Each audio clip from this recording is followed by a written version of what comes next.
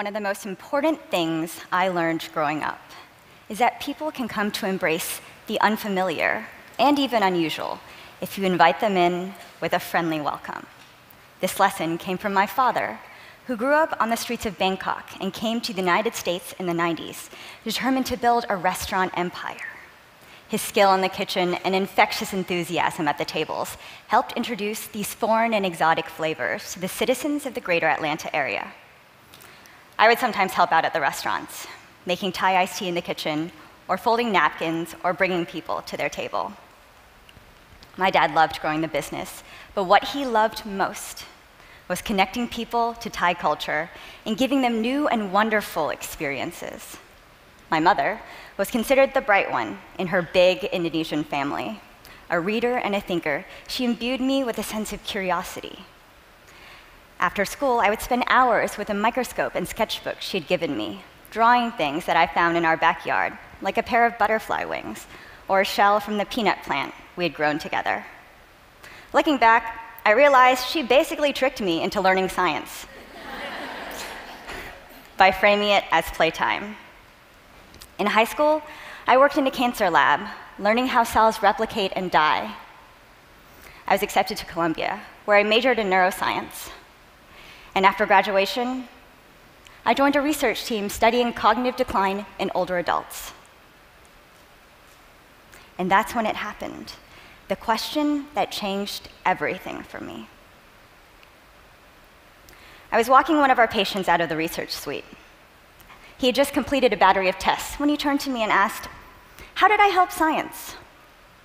The first thing I said was something like, Well, if you want to read our paper, I can send it to you when we're done in a couple of months, and have finished all of our statistical analyses. I quickly realized that I hadn't answered his question at all. I then tried to explain the study in a more general way, but all I remember is the blank look on his face after I had finished. How could I make an impact on the world with science when I couldn't even answer a simple question about our research? I wasn't alone struggling with this. Nearly every group at the Research Center was struggling to share their work with a broader audience. Frustrated by our failure to communicate, I began hunting for tools and strategies to tackle this problem head on. I found my answer in an unlikely place design. In particular, communication design, which I studied in grad school. There, I learned to harness the power of design to convey ideas, evoke emotions, and move people to action.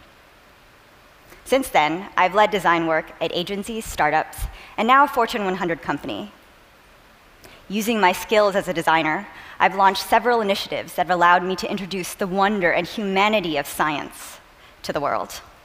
Just like my dad introduced Thai food to our neighbors. The first initiative is about heroes. We all need heroes. Growing up, mine was Rita Levi Montalcini. A science teacher had asked us to write a report on an important scientist, and I decided to dig past the better known men of science and look for a woman. After a trip to the library, I found Rita, who discovered nerve growth factor in the 1940s. Mussolini had barred Jews from working in academic settings, so Rita set up a makeshift laboratory in her bedroom and made her initial discovery there. Years later, I was retelling Rita's story one day and tried to name some of the other female scientists who had shaped their fields in significant ways. But I drew a blank. The only other woman that came to mind was the legendary scientist Marie Curie. This experience led me to create Beyond Curie, a series of illustrations and stories that highlights the rich history of women kicking ass in science, technology, engineering, and mathematics. Women like Maryam Mirzakhani and Mary Golda Ross, who deserve to be just as celebrated as Marie Curie.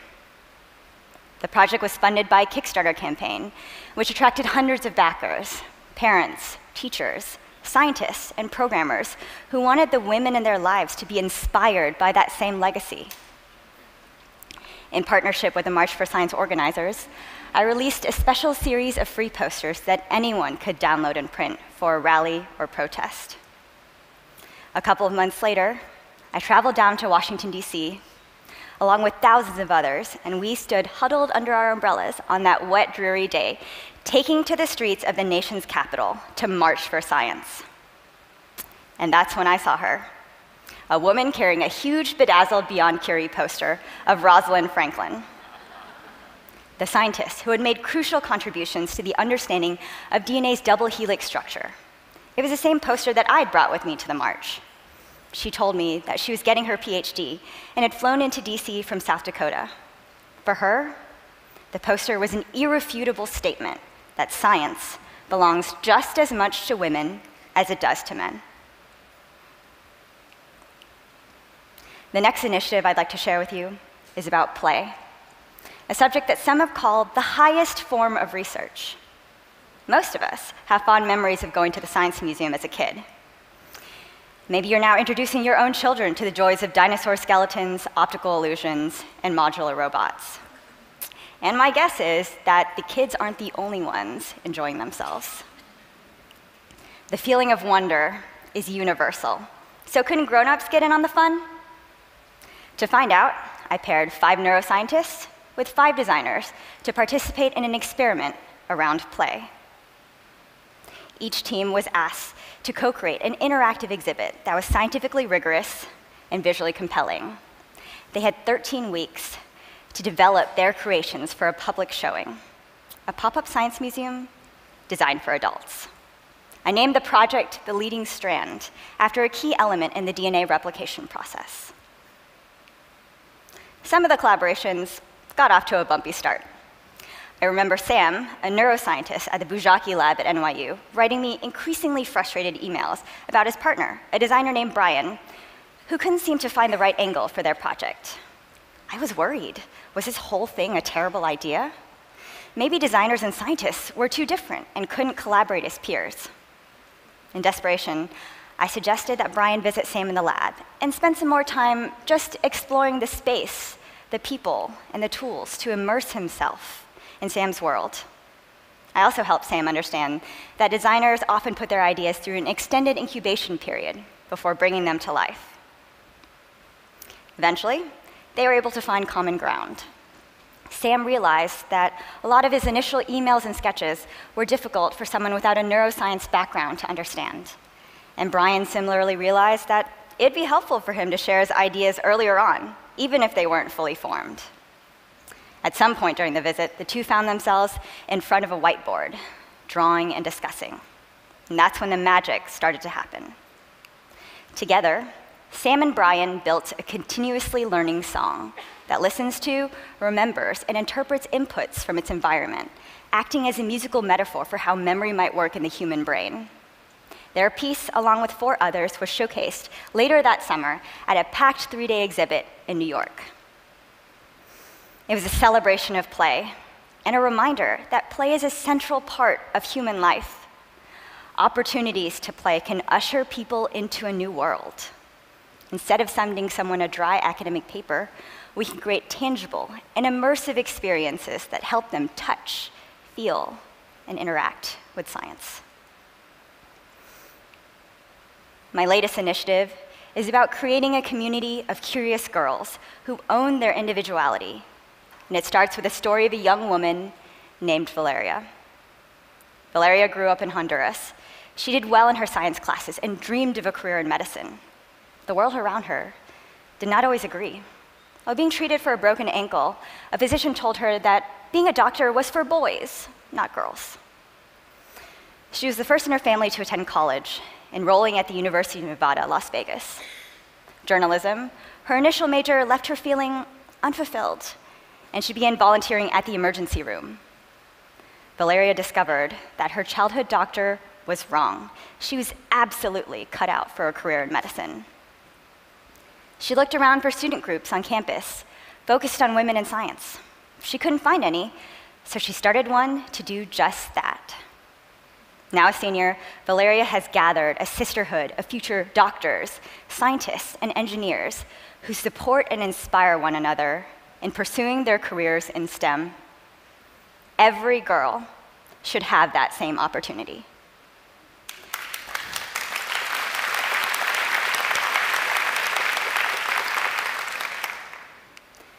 I've been working to create a fashion line and community for women and girls just like Valeria to express their love for science and find their tribe. We produce shirts, dresses, and accessories centered around each of the 118 atomic elements that make up our world. Hydrogen, the lightest and most prolific element in the universe. Carbon, the quintessential connector and linchpin of life. Sodium, the silvery white metal that's a key player in our body's ability to fire nerve impulses. Every element, like the women who wear them, plays an important role in shaping our world. Beyond the clothing, we've developed educational materials and programming that allows our members to learn more about these elements, engage with real scientists, and connect with each other, helping them to take their passion further. Sometimes, when I helped out at my dad's restaurants, our guests would ask me for dish recommendations. I would always suggest pad thai. its friendly mix of flavors and lack of heat make it the perfect gateway dish to the more adventurous Thai curries and ceviches. Just like pad thai opens the door to new aromas and delights, my projects are working to change the way people engage with science. The three themes that have emerged from this work are heroes, play, and community. By putting a core aspect of the human experience into each of these projects, I've been able to give people a way to connect with science that isn't cold and abstract, but instead personal, responsive, and uplifting. I'm not alone in this effort. The work being done across the STEM fields today is full of promise, but also peril. There are brilliant people tackling our most urgent scientific issues, from advancing the ethics of AI and biological interventions to increasing funding for basic research, to removing barriers for women and people of color.